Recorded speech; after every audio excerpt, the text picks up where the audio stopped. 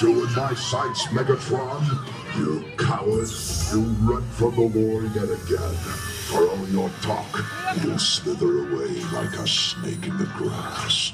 Nonetheless, humans, it is an honor to see all of you lined up today, ready for war. I believe if we combine our powers, we will strike swift.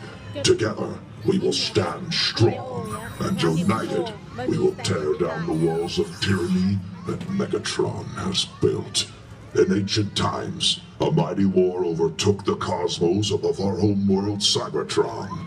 Lines were drawn amongst the trails of the stars.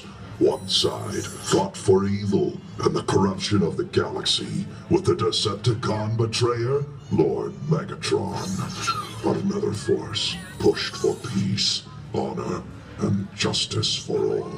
In our darkest hour of extinction, a leader was desperately needed. And so, a leader was chosen. For